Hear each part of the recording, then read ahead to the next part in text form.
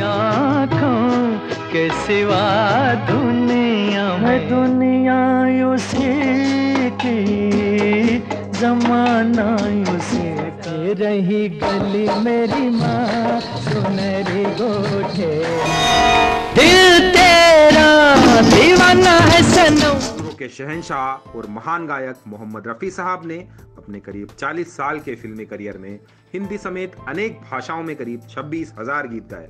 निगाहों निगाहों में जादू चलाना। आज मौसम बड़ा बेईमान है। जन्म जन्म का साथ है तुम्हारा हमारा। रफ़ी साहब जब फ़िल्मों में गाने लगे तो उनके आने से फ़िल्म गायकी का तरीका ही बदल गया। रोशन तुम्ही से दुनिया जहाँ पहले हर हीरो के लिए अलग अलग गायक होते थे और हर गायक की एक ही खासियत होती थी, वहीं रफ़ी साहब ऐसे गायक थे जो हर तरह के गाने गा सकते थे और हर हीरो पर उनकी आवाज़ फिट बैठती थी। ये अगर खुल के इन गीतों से जहाँ रफ़ी साहब को दर्शकों और श्रोताओं का बेइंतहा प्यार मिला, वहीं खूब दौलत और शोहरत भी हासिल हुई। लेकिन अपनी दौलत और शोहरत को उन्होंने खुले दिल से सबके साथ बांटा। उनकी गायकी से कई संगीतकार बहुत बड़े और कामयाब बन गए। तू तेरी याद सता लेकिन जो संगीतकार कामयाब नहीं हो पाए रफ़ी साहब ने उनकी भी मदद की। पास बैठो तबीयत बहल जाएगी। आज एक ऐसे ही संगीतकार की कहानी पेश है जिसके लिए गाते हुए रफ़ी साहब ने कहा था कि तुम बस ऐसे ही गाने बनाते रहो पैसे की फ़िक्र मत करो।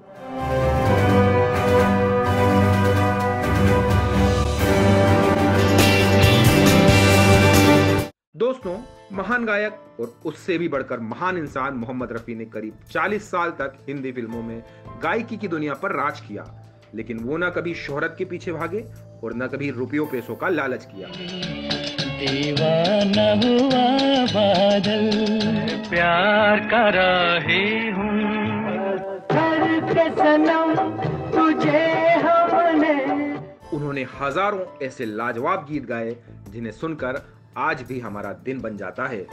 उनकी मीठी आवाज़ जैसे कानों में रस खोलती है दिल में एक अजब सी हलचल पैदा हो जाती है। चाहे कोई रोमांटिक घटना हो दुखद अवसर हो देशभक्ति या धार्मिक कार्यक्रम हो उनके दिल को छू लेने वाले गाने ज़रूरी हैं।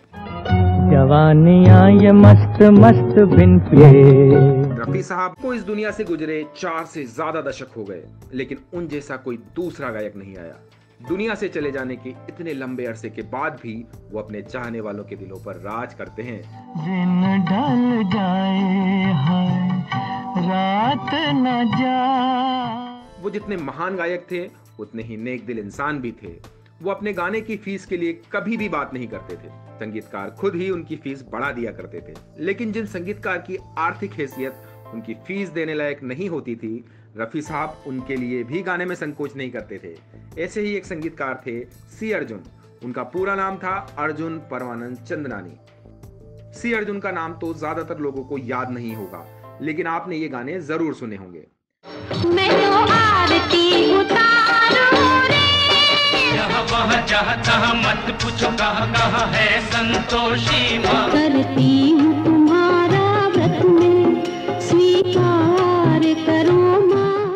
जय संतोषी माँ शोले के साथ ही रिलीज़ हुई थी।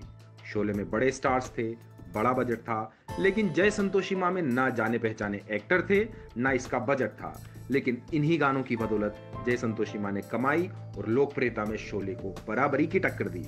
जिस तरह शोले के डायलॉग लोकप्रिय हुए थे, उसी तरह जय संतोषी माँ के गीत आज तक लोकप्रिय हैं। यहाँ, वहाँ, जहाँ, तहाँ मत पूछो कहाँ कहाँ है संतोषी माँ। मत रो मत रो मत रो। लेकिन ये फिल्मी दुनिया का ना जाने कौन सा पैमाना है कि इतना अच्छा संगीत देने वाले को कभी ए ग्रेड का संगीतकार नहीं माना गया, जिससे उन्हें मजबूरी में बी या सी ग्रेड की फ़िल्मों में संगीत देना पड़ा। ये फ़िल्में भले ही ना चली हो, लेकिन आज भी सी अर्जुन के गीतों की वजह से ही इन फ़िल्मों को जाना जाता है। सी अर्जुन पाकिस्तान के कराची में 1933 में पैदा हुए थे और अपनी पारिवारिक विरासत के कारण संगीत की दुनिया में आ गए। उन्होंने आज़ादी के पहले संगीतकार बुलो सी रानी के लिए काम किया। सिंधी भाषा की पहली फ़िल्म अबाना में संगीत दिया। अबाना साधना की भी पहली फ़िल्म थी, लेकिन वो कभी फिल्मी दुनिया की राजनीति सीख नहीं पाए और पीछे रह गए। मगर रफी साहब को इससे क्या फ़र्क पड़ता था? वो कभी किसी संगीतकार के कैंप में नहीं रहे। उन्होंने जितना काम बड़े और मशहूर संगीतकारों के लिए किया, उतना ही काम कम लोकप्रिय या नए संगीतकारों के लिए भी किया। उनकी इस दरियादिली के कारण एक बार ओपी नैयर ने उनसे पूछा भी था क्या आपको नए संगीतकार भी उतना ही पैसा देते हैं जितना लोकप्रिय संगीतकार? तो रफी साहब बोले जब वो कहते हैं कि इस गीत को गा दीजिए इसमें आपकी आवाज़ की ज़रूरत है तो मैं उनसे पैसे की बात नहीं करता। मेरे लिए क्या यही कम है कि वो मुझे याद करते हैं? इसलिए जब सी अर्जुन ने संकोच करते हुए उनसे ये गाना गाने की गुजारिश की तो रफी साहब ने इनकार नहीं किया। इस अंधेरे में एक जल जाएगी। ये गाना बनने की कहानी भी दिलचस्प है। जो सी अर्जुन ने रेडियो कार्यक्रम में अमीन सयानी को बताई थी। उन्होंने कहा कि एक दिन हम, यानी मैं और इंदिवर रिकॉर्डिंग के बाद बेस्ट बस से लौट रहे थे। बस में खूब सवारी थी, लेकिन हम दोनों को सीट मिल गई और हम पास पास बैठ गए। दो या तीन स्टेशनों के बाद एक बेहद खूबसूरत लड़की उस बस में चढ़ी और हमारे पास खाली जगह देखकर खड़ी हो गई। इंदिवर बार बार उसकी ओर देख रहा था। चार पाँच मिनट के बाद इंदिवर ने मुझसे खड़े होने को कहा और उस लड़की को सीट देने के लिए कहा। थोड़ी झिझक के बाद मैंने अपनी सीट उसे दे दी। वो करीब आधे घंटे तक साथ में सफ़र करती रही, लेकिन मुझे हैरानी हुई कि इस दौरान इंदिवर ने उससे एक बार भी बात नहीं की। जब वो उतर गई तो मैंने इंदिवर से पूछा कि तुमने उससे बात क्यों नहीं की? तो इंदिवर बोले कि जब मेरा घर आएगा तब बताऊँगा। अपने स्टॉपेज पर उतरकर हम घर पहुँच गए। तो इंदिवर ने कहा माय डियर अर्जुन उसे अपनी सीट देने और मेरे बगल में बैठाने के लिए धन्यवाद। जब वो लड़की बस में खड़ी थी और फिर मेरे बगल में आकर बैठ गई तो मैंने कुछ पंक्तियाँ सोची थी। ये पंक्तियाँ थी, पास बैठो, तबीयत बहल जाएगी, मौत भी आ गई तो टल जाएगी। फिर इंदिवर ने करीब एक घंटे में इस पर पूरा गाना लिख दिया और उसी रात मुझसे इसकी धुन बनाने को कहा। डिनर के बाद देर रात तक हम ये धुन बनाते रहे। पास बैठो, तबीयत बहल जाएगी ये गाना बलराज साहनी, जगदीप और अमिता के रोल वाली फ़िल्म पुनर्मिलन में फिल्माया गया, जो 1964 में रिलीज़ हुई एक ब्लैक एंड व्हाइट फ़िल्म थी। सी अर्जुन ने एक इंटरव्यू में बताया था कि वो चाहते थे कि ये गीत रफी साहब गाएँ, लेकिन फ़िल्म का बजट कम था, इसलिए झिझकते हुए वो रफी साहब के घर के बाहर जाकर खड़े हो गए। जब रफी साहब बाहर आए तो मैंने उन्हें बताया कि मैं संगीतकार हूँ और उनको ये गज़ल सुनाई। हमारी हैसियत रफी साहब की फ़ीस देने की नहीं थी। लेकिन गज़ल सुनकर रफी साहब ने कहा कि ये बहुत कमाल की गज़ल है। मैं खुशकिस्मत हूँ कि ये मेरे हिस्से में आई है। तुम पैसों की चिंता मत करो और इसी क्वालिटी का काम करते रहो। मुस्कुरा दो तमन्ना निकल जाएगी।